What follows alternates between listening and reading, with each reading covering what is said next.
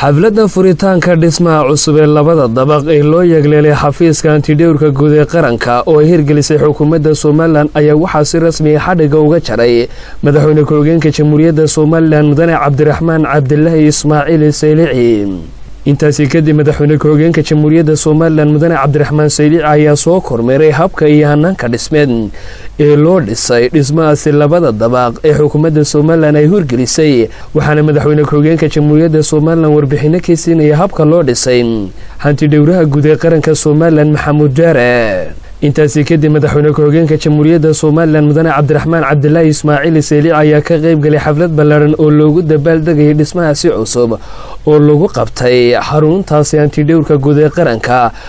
Hantidhowraha guud ee qaranka somalilan oo halkaasi ka hadlaya ayaa ku dheeraaday maraaxilkii kala duwanaa uu soo maray dhismahaasi waxaana uu sheegay in dhismahani uu ku yimi dadaalka xukuumadda. Runtii waa taariikh weyn. Muddo saddex sannadood ku dhowaada oo dowladaha hore oo dalka soo mari jireen inaan waxba laga qabanin waxa meesha yaallay ahaa. Dhismihii ingiriis ka tegey oo xeelo militari ahayd. Alxamdu lilaahi rabbialcaalamiin ilaahay baa mahadle maanta madaxweyne ku-xigeen waxaad furtay. Dhismaha labada dabaqa ee ka soo horjeeda ee beddelay dhismihii muddo lixdan sano ama toddobaatan sano ka samaysnaa jiingaddii taraagtii gaasta runtii waa wax ilaahay lagu mahadnaqo waa waxqabad dhaba oo xukuumaddu maanta la timid. Waa waxqabad dhaba oo wasaaradda maaliyaddu la timid. Waa wax qaran dhaba oo wasaaradda howlaha guud la timid.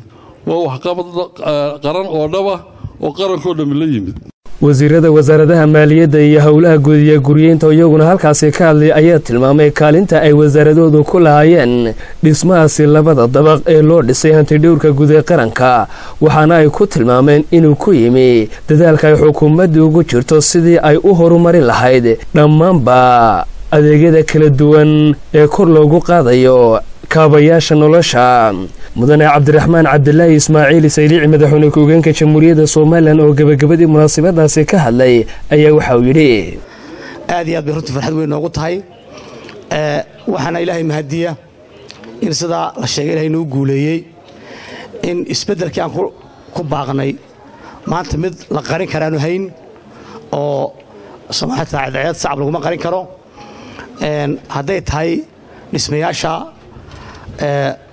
loo baahan yahay in laga bedelo biicaddii shaqaaluhu ku shaqaynaya runtii.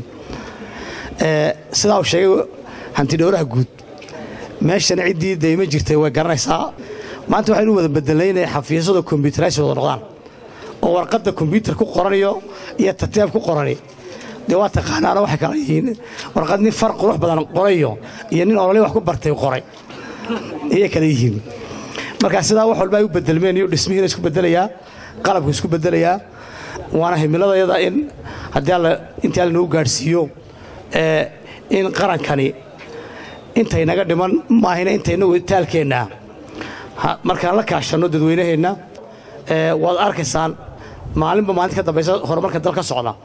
Inaynu isku bogaada leenahay inay inta dhiman ama wixiina seegan ninkii shaqahaya waa la tilmaamaa in si wanaagsan asluul la isku tilmaamo